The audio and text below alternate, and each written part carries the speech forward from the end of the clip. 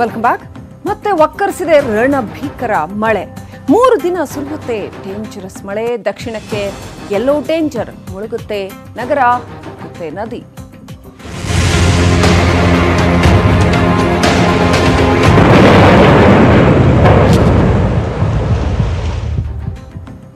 ಬಳ್ಳಾರಿಯಲ್ಲಿ ಮಳೆಯ ಆರ್ಭಟಕ್ಕೆ ವೃದ್ಧಿಯೊಬ್ಬರು ಬಲಿಯಾಗಿರ್ತಕ್ಕಂಥದ್ದು. ಮನೆಯ ಗೋಡೆ ಕುಸಿದು ದ್ಯಾಮಪ್ಪ ಅನ್ನೋ ವ್ಯಕ್ತಿ ಸಾವನ್ನಪ್ಪಿರ್ತಕ್ಕಂಥ ಮರಿಯಮ್ಮನಹಳ್ಳಿ ಹತ್ರ ಹನುಮನಹಳ್ಳಿ ಅನ್ನೋ ಗ್ರಾಮದಲ್ಲಿ ಘಟನೆ ನಡೆದಿದೆ.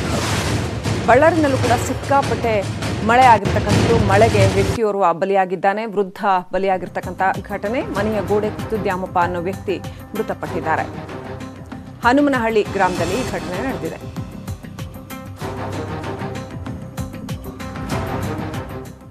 ರಾಮನಗರ ಜಿಲ್ಲೆಯಲ್ಲೂ ಕೂಡ ಮಳೆಯ ಅಬ್ಬರ ಹೆಚ್ಚಾಗಿದ್ದು ಕಳೆದ ರಾತ್ರಿ ಇಡೀ ಚನ್ನಪಟ್ಟಣದಲ್ಲಿ ಧಾರಾಕಾರ ಮಳೆ ಆಗಿದೆ ನಗರದ ಆರ್ಎಂಸಿ ಬಡಾವಣೆಗೆ ಹಾಗೂ ಬಿಡಿ ಕಾಲೋನಿಯಲ್ಲಿ ಒಳಚರಂಡಿ ವ್ಯವಸ್ಥೆ ಇಲ್ಲದ ಮನೆಗಳಿಗೆ ಮಳೆ ನೀರು ನುಗ್ಗಿಬಿಟ್ಟಿದೆ. ಇವತ್ತು ಚನ್ನಪಟ್ಟಣಕ್ಕೆ ಮಾಜಿ ಸಿಎಂ ಎಚ್ ಡಿ ಕುಮಾರಸ್ವಾಮಿ ಭೇಟಿ ಕೊಡ್ತಾರೆ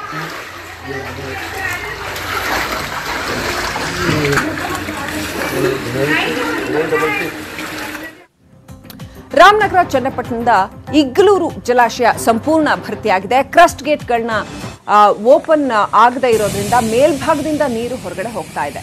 ಅಕ್ಕಪಕ್ಕದ ಗ್ರಾಮದ ಜನರಲ್ಲಿ ಇದು ಆತಂಕ ಮೂಡಿಸಿದೆ. ಇವತ್ತು ಮಧ್ಯಾಹ್ನ ಹನ್ನೆರಡು ಗಂಟೆಗೆ ಮಾಜಿ ಸಿಎಂ ಎಚ್ ಡಿ ಕುಮಾರಸ್ವಾಮಿ ಇಗ್ಲೂರಿಗೆ ಭೇಟಿ ಕೊಟ್ಟು ಪರಿಶೀಲನೆ ನಡೆಸಲಿದ್ದಾರೆ.